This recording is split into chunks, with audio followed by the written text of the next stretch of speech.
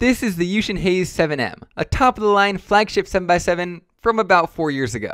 That means in the year 2022, it's in this awkward position where the turning isn't bad, but it's also not great. And I think that's a shame. So in this video, since I don't think we're going to be making it turn any better, I figured why not run in the exact opposite direction and try and make it turn as terrible as possible. That way, at least it has something going for it. So on this journey to the world's worst 7x7, you better bet we're going to be dumping in every cube lubricant known to man, as well as possibly a few things that aren't exactly cube lubricants. It's going to be a good time. But it turns out there's plenty of more interesting ways to make a cube terrible without a drop of lube involved. So we're going to be saving this chaos till the end of the video, and in the meantime, we're going to get started by messing around with this cube's magnets. If you don't know, one of the most hilarious mods that you can do to a magnetic cube is to just flip around half the magnets so that they always repel each other instead of attracting. That way, instead of getting that nice snap at the end of each turn, the layers will just refuse to align at all. Now, part of the reason I chose the Hays 7M is it was one of the first magnetic 7x7s before cube manufacturers figured out how to glue those magnets in super efficiently, so it's actually pretty easy to pry the magnets out and then glue them back in backwards. Now, I think my strategy is going to be to leave all the corners alone, flip around all the magnets in these types of edges,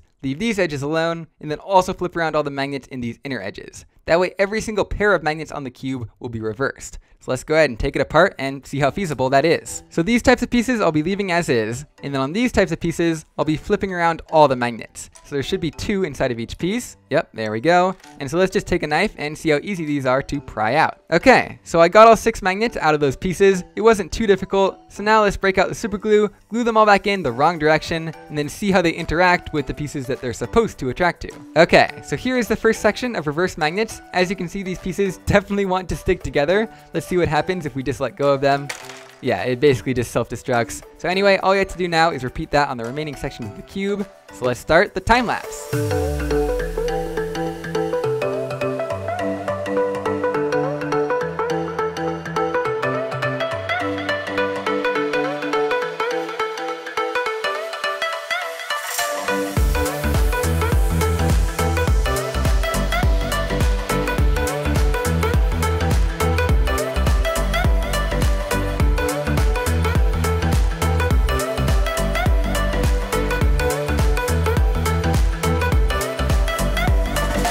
After an unusually difficult assembly process, because the pieces were not being very cooperative, the reverse magnet 7x7 is assembled, and as you can see, the alignment is impeccable. But before we see just how annoying it is to turn, there is one more thing that I switched up about this cube while I had it taken apart. Can you spot it? It's the kind of thing that you either don't notice at all, or it will annoy you to no end. And that is, the color scheme is wrong. That's right, it looks perfectly fine on first glance, but in reality, it's the mirror image of where the colors are supposed to be, which should annoy all cubers to no end. It's actually super easy to do this, you just swap around two pieces of each corner. Anyway, on to the turning. Luckily, this cube does have some pretty good corner cutting to begin with, so hopefully this alignment won't be too big of an issue. Yeah, there we go, it just cuts right through it, but then it starts being misaligned on a different layer, just like that. So let's try doing an algorithm to see just how terrible it really is.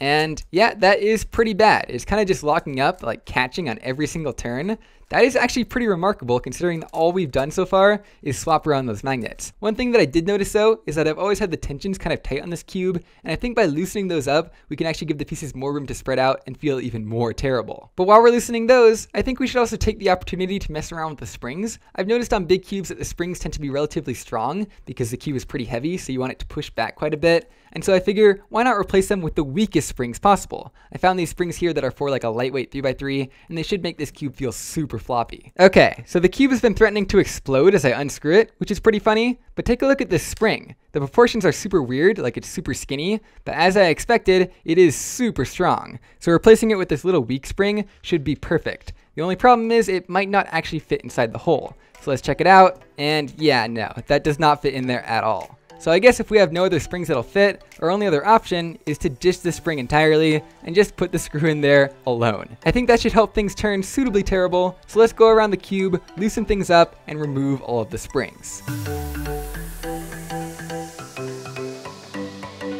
Okay, I think that little bit of looseness was exactly what we needed because this thing is already looking so much more terrible. Let's try and turn it. Yeah, the pieces are so spread out now that even the corner cutting can't save it. It is just absolutely awful. Okay, now there is one more little thing I want to do before just throwing random lubes at it, and that is I want to make this cube not only feel annoying, but also sound annoying. You might already be able to hear that little bit of a rattle. That's because I've already started down this path by adding a few little washers inside of the pieces, but I want to make that rattle 10 times worse. So let's just open up the cube and throw a ball bearing inside or you know maybe eight of them there isn't a whole lot of room down there but i think these ones will at least fit and hopefully it should make it very very annoying. Okay on second look there is actually a lot less room down there than i thought there was so hopefully the cube should still turn. And uh, it seems like it does. Is it annoying Oh yeah, that's a lot worse than it was before. You know what? I was just about to say that unfortunately we can't have extra ball bearings rattling around in the edge pieces because they would just stick to the magnets, but then I realized that we don't have to use ball bearings. We can just use little bits of plastic to rattle around and be extra super annoying. Luckily I have lots of little bits of extra plastic, so let's try it.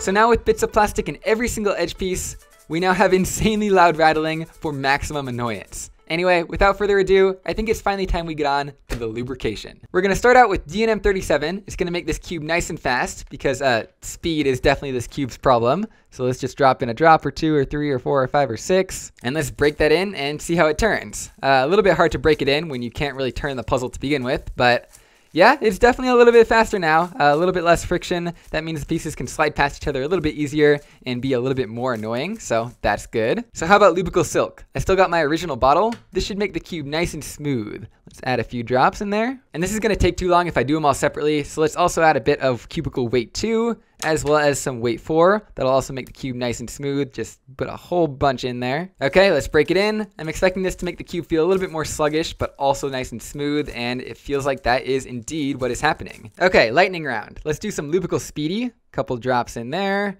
Uh, how about Lubicle 1? Let's add some of that. Okay, Compound X from Angstrom.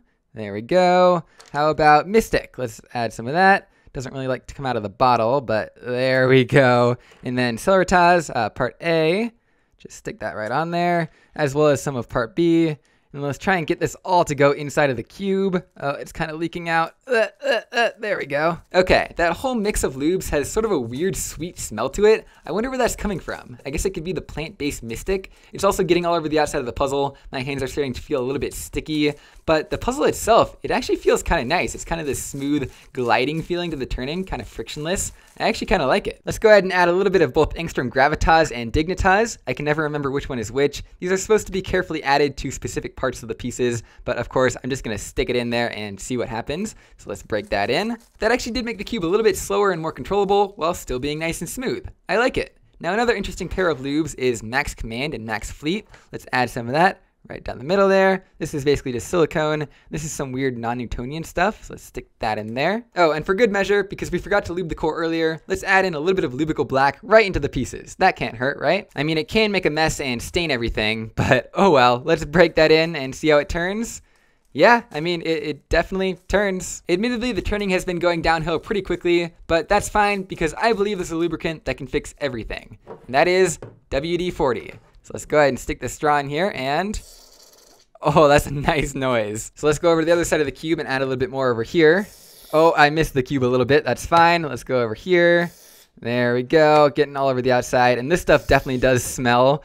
It's also getting all over everything, so let's wipe that off real quick. It's hard to describe, but it suddenly smells like I'm holding some sort of mechanical device that should have gears and stuff. The turning has definitely gone downhill. It's like all the cube lube is just gone and replaced with just nice and smooth, but also just terrible feeling. Like just the quality of the plastic is gone, and it feels like it's replaced with something other than plastic. Also, it is all over my hands. Anyway, I think the only solution to this is to sanitize it with some hand sanitizer. Let's throw some of that in. Okay, that didn't actually make it into the cube very well, so let's go around to the other side and try that again. Uh, hand sanitizer. There we go.